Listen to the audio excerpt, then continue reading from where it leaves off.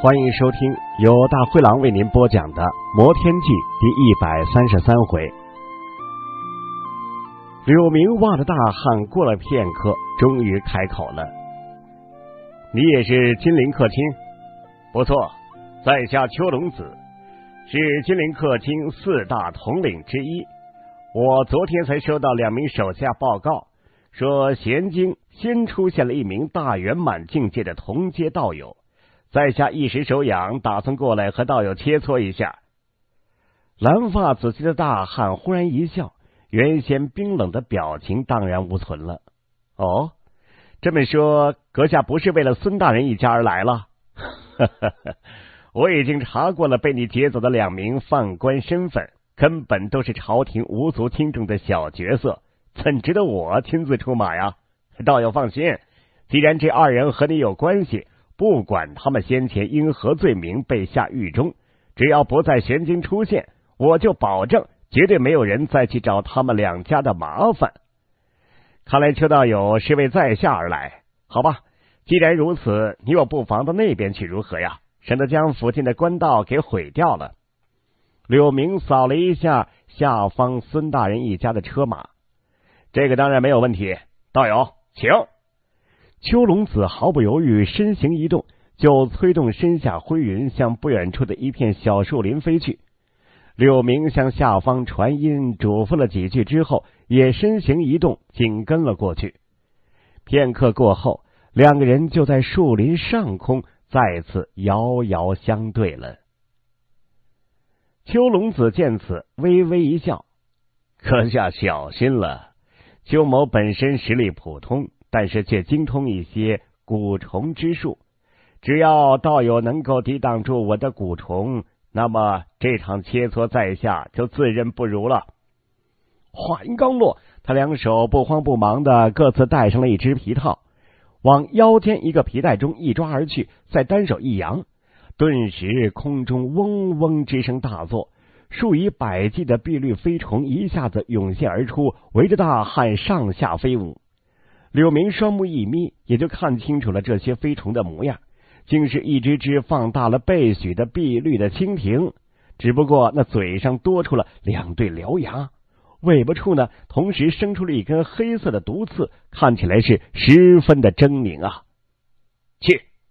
秋龙子一声低喝，用手指冲着柳明这边虚空一点。近半的蛊虫一下子就化为了淡绿色的云朵，奔着柳明一扑而去。柳明眉梢一挑，单手掐诀，顿时身前点点红光一现，就凝聚出了三颗赤红色的火球出来。袖子再一抖过后，就发出了呼啸之声，冲重云飞去。轰轰轰！三声巨响过后啊，三颗火球准确无误的就击在了重云上。化为了滚滚火云，将重云淹没了。但是柳明神色丝毫没见轻松，反而手中的法诀一变，七八枚锋刃又凭空浮现而出了。因为对面的秋龙子见自己蛊虫被火云包裹，没有露出担心之色，反而呢，他的嘴角泛起了微笑。果然，下一刻呀，这火云中破空之声一响，那些蛊虫从中一冲而出。除了身躯略微有些焦黑之外，竟然全都毫发无损。柳明心中啊早有预料，但真的看到此景，瞳孔也不禁微微一缩。手中法诀略一催动过后，身前飞刃就化为了一连串的青光，激射而去。砰砰砰！一连串的闷响过后，锋刃就化为了一连串青光，斩在了重云之上。但是。除了前面几只躲避不及的被当场一劈两半而外，其他的蛊虫呢却一哄而散，避开了。接着又嗡嗡嗡的冲柳明飞扑而来。柳明见此，脸色一沉，忽然袖子一抖，一口青色的短剑就从手中浮现而出。只是略一舞动过后，一道道森然的剑影凭空在身前浮现而出。灵气，回来！这只不过是切磋而已。道友竟然将灵气都拿了出来，这些蛊虫虽然还算不错，但是如何能够抵挡真正灵气的攻击？我要另换一种蛊虫才行。秋龙子略一感应对面剑影所蕴含的恐怖的威能过后，无法镇定的连忙大喝，手中再次掐诀一催，那些蜻蜓般的蛊虫顿时身形一顿，纷纷飞回。与此同时呢，秋龙子又从皮带中另外拿出一物，冲着柳明这边抛了过来。那赫然是一只通体油亮的黑色的甲虫，足有拳头般大小。背后模糊的翅翼一震动之后，就化为了一团乌光，直扑柳明而来。柳明呢，毫不客气的手中青月剑骤然一击，所化的青色剑影一丈之下，就将此剑虫卷入其中。当即里面尖鸣之声大作，一道道森然的寒光斩到了黑色的甲虫之上，除了将其撞得东倒西歪，硬壳上凭空多出了密密麻麻的白痕之外，这甲虫竟然是安然无恙。哈哈哈哈哈！这头变异的铁骨虫怎么样？其身躯啊，早已到了刀剑不入、水火不侵的地步了。一般的灵气，那可是没有办法伤害的分毫啊，是吗？既然无法展开，那在下就把他困住吧。柳明目中冷色一闪，忽然手臂一个模糊，一只手掌呢，竟在丝丝黑气包裹当中，闪电般的探入到剑影当中，一把就抓住了黑色甲虫。黑色甲虫一惊，大口一张，就要冲柳明手背狠狠咬去。可就在这个时候，抓住他的手掌中，蓦然一团蔚蓝色的光芒荡漾而开，随之刺啦之声一起啊，一层层寒冰凭空在甲虫体表浮现而出，将其瞬间冰封在了一块巨大的冰块当中了。接着，柳明手腕一抖，将冰块一抛而出，另一只手中青色的短剑一动，就要冲冰块一斩而去。道友手下留情，这场切磋。在下认输了，我这铁骨虫什么都不怕，就是怕被寒属性力量所攻击。现身蛊虫防御之力还不足原先的十分之一，可挨不得道友一剑呐。秋龙子认输了，柳明嘿嘿一笑，原本斩出的一剑，忽然一侧剑刃变成了剑背儿，向对面一拍而去。一声闷响，冰块当即向对面飞去了。邱龙子见此，这才心中一松，远远的单手一招，就将冰块凭空射到了自己的手中。接着再一掐诀，一缕缕火苗窜了出来，将冰块包裹了起来。片刻之间，就开始冰消溶解了。道友真是好手段，竟然在这么短的时间之内就找到了铁骨虫的弱点所在。不过，道友这一手神通应该出自冰锥术吧？似乎还修炼到了小成境界，否则的话，我这头蛊虫也不会这么快的就被你困住啊！邱道友好眼力啊！刚才的手段的确是冰锥术变化而来的。道友可还有其他蛊虫？要不要继续下去啊？哎，不比了，不比了。邱某虽然说还有其他蛊虫，但是可没有办法用在切磋上。哎呀，通过先前的比试，在下已经肯定。道友的确不是一般的后期灵图修士了，哪儿还有再动手的必要啊？道友如此手段神通，若是肯加入朝廷的话，一个统领之位十有八九，我看是跑不掉的。怎么样？哎，道友可有兴趣啊？加入金陵客卿，这个恐怕不行了。在下已经在百灵居担任客卿一职了。柳明马上神色如初，摇了摇头，呃。道友是百灵居的客卿，其后台可是三王爷呀！哎呀，这可真是啊，太可惜了。三王爷的这个墙角嘛，我还真不敢去挖。行啊，既然这样，我也不勉强了。哎，对了，还不知道道友尊姓大名？不久之后啊，玄清会有一个隐匿的交换会，去的嘛都是一些了不得的家伙，相信也会有许多不错的东西出现。呃，道友可有兴趣参与啊？在下姓钱名明，隐匿交换会的话，在下还真的是有一些兴趣，但不知何时举行。要两个月吧，毕竟一些道友并不是玄经之人，还要从其他地方赶过来嘛。好，那在下一定准时参加。很好，我到时候替钱道友担保一下，并提前送去请帖。柳明自然又称谢了一番。接下来，二人又聊了几句。柳明就告辞，重新向车队飞去。片刻的功夫过后，停在官道上的三辆马车再次向前飞驰了。邱龙子留在树林上空，望着远去的车队，脸上满是思量的表情。邱老大，真不动手吗？我们已经在下面布下了两套阵旗，只要说将其引入下面，我二人再出手相助的话，他实力就算再强，也插翅难飞吧。树林中忽然传出了一个男子的声音，接着某棵大树上淡淡的青光闪动，竟从中飞出了两道人影，几个模糊过后，就鬼魅一般的停在了秋龙子身边。两位贤弟。我让你们在下面布下法阵，只是为了万一准备的后手而已。这等实力之人，谁敢说有十足的把握将其拿下？万一他跑掉了，恐怕你我都要后患无穷啊。关键是我为何要去做这个恶人，去得罪此人呢？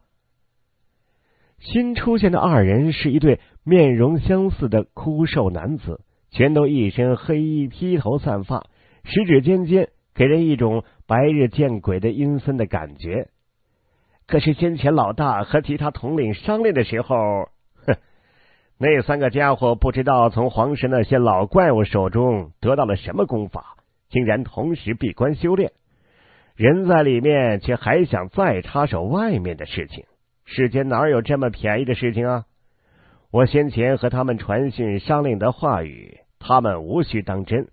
眼下玄清这潭深水是越来越浑，在这种情况之下，我怎么会轻易的招惹一名强者呀？反而和其拉上关系的话，以后却说不定能有大用啊！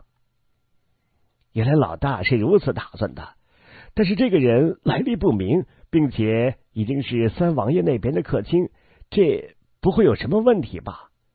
他只是百灵居的客卿。百灵居和三王爷还是以合作为主的，他嘛还算不上是三王府的人。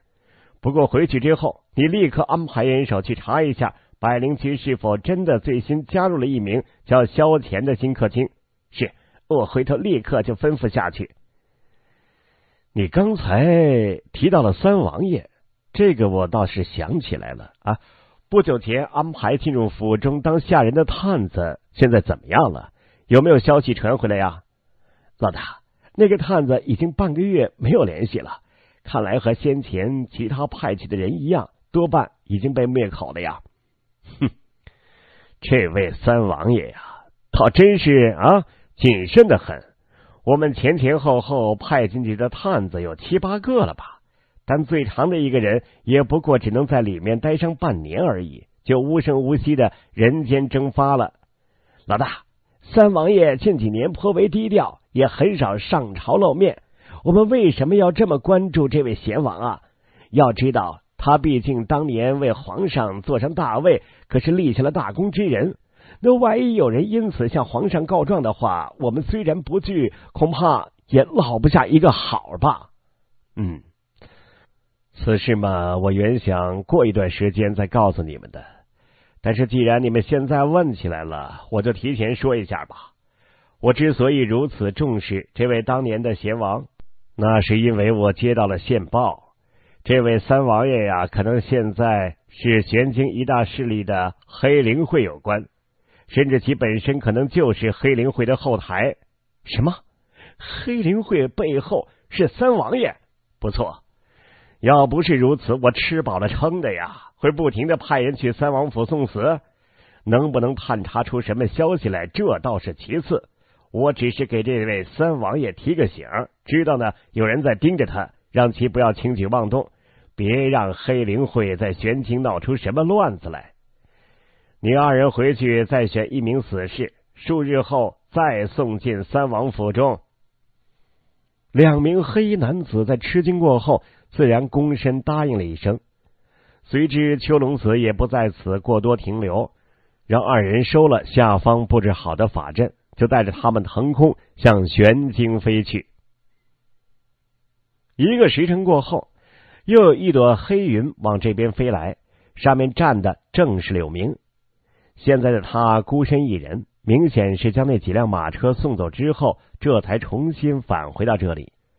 他在树林上空盘旋了几圈，强大的精神力往下方树林接连扫过数遍，感应到其中残留的一些禁止波动，当即冷笑一声，也催云离开了。同样一个时间，玄境内最富丽堂皇的一座宫殿的地下密室中。一名身穿金黄色龙袍的中年男子正拼命的在地上打滚原本威严至极的脸孔，竟在扭曲中浮现出了一枚枚米粒大小的青色的鳞片，同时头发变得深蓝无比，双目瞳孔也变成淡银之色。砰的一声，一条硕大的青色鱼尾啊，从其袍子中一甩而出，往地上呢狠狠一摔过后。就将附近看似异常坚硬的石地砸得粉碎一片，男子神色更是表现的痛苦万分呐，两手狠狠的抓在附近地面上，竟然留下了一道道触目惊心的血痕。不知道过了多久之后，龙袍男子身躯一阵抽搐，这才蓦然一松，趴在地上不动，只剩下大口大口的喘息之声了。呵呵。这变身之痛，对于你这样的混血海族人来说，只能是一次比一次痛苦。早知如此，又何必当初呢？密室大门忽然打开，从外面走进一名看似不过四十来岁的雍容美妇，一身宫装，尽显高贵之气。朕是当今皇上，即使不服用你们的海族灵药，我一定也能自己挨过去。否则的话。朕岂不是真的成了一个傀儡吗？